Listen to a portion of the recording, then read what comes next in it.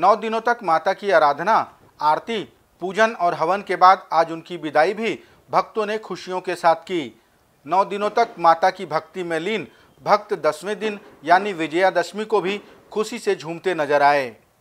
Green earth city Amleshwar के बंगाली समाज की महिलाओं ने विसर्जन के पूर्व सिंदूर खेला भी किया। इसमें महिलाओं ने एक दूसरे को सिंदूर का टीका लगाया और इस तरह दशमी मनाई। कॉलोनी में भंडारे का भी आयोजन हुआ, जिसमें कॉलोनी वासियों ने बढ़ चढ़कर हिस्सा लिया। राजधानी रायपुर में जवारा विसर्जन भी कंकाली तालाब में किया गया। महिलाएँ और युवतियाँ अपने सिर पर जवारा रखकर माता के पीछे पीछे चलती नज़र आईं। बुधवार को छत्तीसगढ़ रायपुर के दशहरा उत्सव में शामिल होने रामानंद सागर की रामायण के राम सीता रायपुर पहुँचे। अभिनेता अरुण गोविल और अभिनेत्री दीपिका चिखालिया ने इस दौरान पत्रकारों से बातचीत की। राम का किरदार निभाने वाले अरुण गोविल ने कहा कि उन्हें राम मानकर हज़ारों बार लोग उनके पैर पड़ा करते थे, जो उन्हें बिल्कुल भी अच्छा नहीं लगता। कि ये ये जो वीडियो, जिस वीडियो की आप बात कर रही हैं, ये ऐसा लगता है आप लोगों को कि ये ऐसा हुआ है अभी? ये मेरे साथ हज़ारों बार हो चुका है।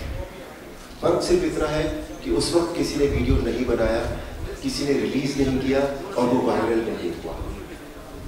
ये वीडियो सुबह पौने छः बजे किसी ने शूट किया था जब मैं एयरपोर्ट पे औरंगाबाद जा रहा था अभी चार दिन पहले, ये तीस तारीख की तो मेरे साथ ये बहुत हुआ है और बिल्कुल चुनौती नहीं है, ये मुझे पहले बड़ा अजीब लगता था ये शुरू शुरू में, जब मतलब मुझसे बहुत बड़े उम्र के लोग भी पाँव छू लेते थे। क्योंकि हमारी संस्कृति में जो हमारी सनातन संस्कृति है, वो उसमें ये हमेशा से माना गया है कि बड़े जो है वो छोटों के पाँव न छुए कभी भी। छोटों को, बड़े के, बड़ों के पाँव छूकर आशीर्वाद देना चाहिए। तो मुझे बहुत अजीब लगता था, मैं कहता था कि आप ये ऐसा क्यों कर रहे हैं? तो उनका कहना ये था कि आपको इसमें कोई आपत्ति है? मैंने कहा, आपत्ति है, मैं छोटा हूँ, आपको ये नहीं करना चाहिए।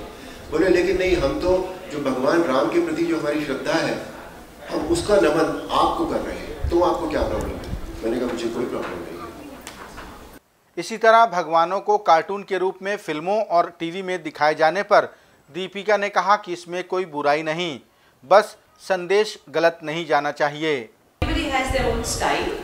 जो बनाना चाहते हैं। हमने जो बनाई है वो त्रेता युग को ध्यान में रख के वाल्मीकि जी और तुलसीदास जी की रामायण का एडेप्शन किया है। बाकी जिसको जैसी बनानी है वो बना सकते हैं क्रिएटिव लिबर्टी ले सकते हैं. It is really their thought process Chhattisgarh की राज्यपाल अनसुईया उइके ने भी राजभवन में माता की प्रतिमा विराजित की थी।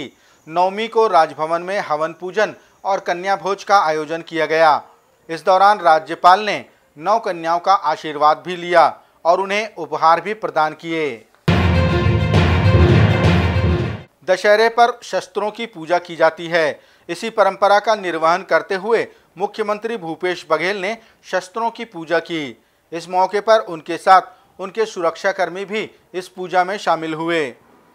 राजधानी रायपुर के वरिष्ठ पुलिस अधीक्षक प्रशांत अग्रवाल ने भी शास्त्रागार में शस्त्रों की पूजा की और सभी को दशहरे की बधाई दी।